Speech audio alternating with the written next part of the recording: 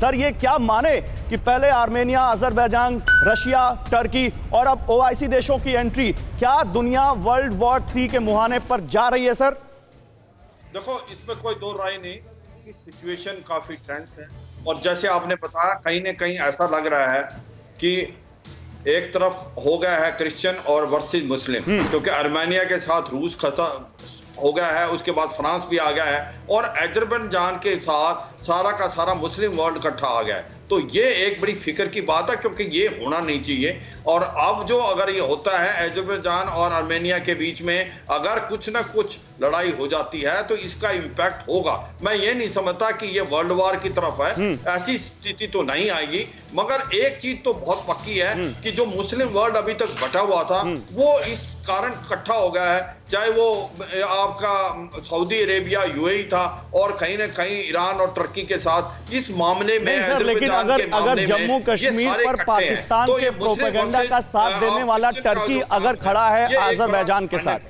मैं आ रहा हूँ सर अगर जम्मू कश्मीर पर पाकिस्तान के प्रोपेगेंडा का साथ देने वाला टर्की अगर अजरबैजान के साथ खड़ा है, रशिया जो भारत का बहुत सालों से बहुत पुराना जो दोस्त है, वो अगर आर्मेनिया के साथ खड़ा है तो इसमें इंडियन इंटरेस्ट भी हमको देखना पड़ेगा। मेरा सवाल यह है कि आप कह रहे हैं कि वर्ल्ड वॉर जैसी सिचुएशन अभी नहीं है, लेकिन अगर दुनिया के पावरफुल मुल्क, रशिया के बाद जो दुनिया के सबसे पावरफुल क्रिश्चियन कंट्री है, अमेरिका की बात कर लीजिए, यूरोपियन कंट्रीज़ की बात कर लीजिए, वो अगर आर्मेनिया के साथ खड़े हो गए तो फिर क्या आपको लगता नहीं कि स्थिति बहुत ज़्यादा खराब हो जाएगी? बिल्कुल हो जाएगी। इसमें कोई दो राय नहीं। ये एक पहर है। मैं ये कह रहा हूँ, स्थिति नाजुक है। मगर अगर इसको ये सोचे कि अभी वर्ल्ड वार की तरफ़ हो सकता है, ये थोड़ा सा हमने ज़्यादा है मगर अगर सिचुएशन खराब होती है तो फिर हो सकता है मगर इस समय सिचुएशन बदल सकती है सिचुएशन को अंडर कंट्रोल क्योंकि अमेरिका जो है खुल के ये कह रहा है कि एक प्रकार से अजरबैजान और आर्मेनिया के बीच में हम्म। बातचीत होनी चाहिए। तो कोई वर्ल्ड में नहीं चाहता ये मुसलमान और क्रिश्चियन के बीच में झगड़ा हो ये तो एक वर्ल्ड वार से भी बुरी स्थिति हो सकती है। मगर पूरे जो देश हैं मुझे नहीं लगता रूस भी चाहेगा कि इस प्रकार का युद्ध हो। जिस तरह से पाकिस्तान आया बाद में ओआईसी के दूसरे देश आ गए क्या ये मुस्लिम देशों का खलीफा बनने का भी प्रयास है इन देशों की तरफ़ से? इस बारे में भी बात करेंगे लेकिन इससे पहले ये नारगोनो काराबाख है क्या? जिस पर विवाद है ये जानिए।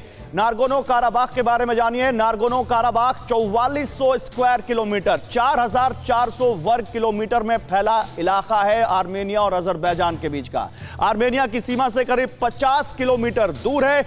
आर्मेनियाई ईसाई और मुस्लिम तुर्क तर, टर्क्स की संख्या यहाँ पर ज़्यादा है।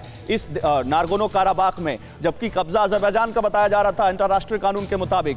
आर्मेनिया की सीमा से करीब 50 किलोमीटर दूर। ये नारगोनो काराबाख, आप समझ लीजिए, थोड़ा बोलने में मुश्किल है, लेकिन यही है, इस वक्त जंग की वजह इसी के वजह से इस 4400 वर्ग किलोमीटर के इलाके पर ही विवाद है सारा, जहाँ पर दुनिया वर्ल्ड वॉर के मुहाने पर जाती दिख रही है। आर्मेनियाई, ईसाई और मुस्लिम तुर्क की संख्या यहाँ पर ज़्यादा है।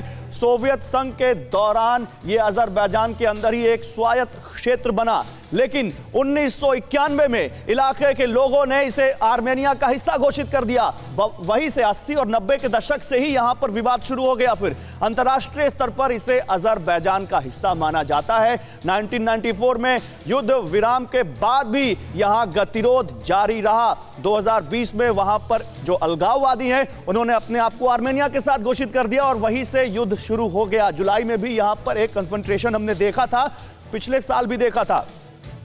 हमारे साथ प्रिया लालवानी है जो कि दुनिया में जो इस वक्त हालात हैं उसको बहुत अच्छे से जानती हैं समझती हैं। प्रिया आर्मेनिया और अजरबैजान क्या ये अब एक और कारण बनने जा रहा है दुनिया को आम, आमने सामने लाने का दुनिया के देशों को आमने सामने लाने का? मेरे ख्याल से हमें प्रार्थना करनी चाहिए कि लड़ाई ना हो। तो अगर कुछ भी हो रहा है हमें कोशिश करनी चाहिए कि उसे कामली एनालाइज करें और सोल्यूशन ढूंढें। जैसे कि वॉर न हो क्योंकि अगर वॉर होगा तो सिर्फ़ जो आर्म्स बेचते हैं कंट्रीज़ उनको फ़ायदा होगा बाकी सबको नुकसान होने वाला है। तो मेरे लेकिन प्रिया वॉर तो शुरू हो चुकी है। हमें कोशिश प्रिया वॉर शुरू हुए तीन दिन हो चुके हैं टर्की खुल के साथ आ गया है ओआईसी खुल के साथ आ गया मैं आपकी बात का बिल्कुल सपोर्ट करता हूँ कि कहीं भी किसी के भी हक में वॉर नहीं है। लेकिन अगर वॉर लाइक कंडीशन है वहाँ पर अगर इतने सारे देश अगर खुलकर सामने आ गए तो आपको लगता नहीं कि स्थिति नाजुक हो चुकी है?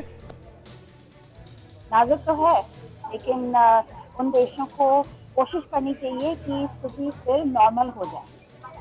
ठीक है, प्रिया, मैं आता हूँ आपके पास, लेकिन इस बीच एक और बड़ी खबर, जैसा कि प्रिया कह रही है कि वॉर ना हो वाक क्या आप पर भी बरपा है, जालसाजी का कहर।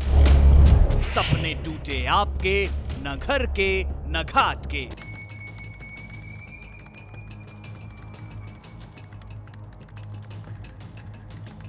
देखिए लूट घर हर रात साढ़े नौ बजे। फ़िक्र आपकी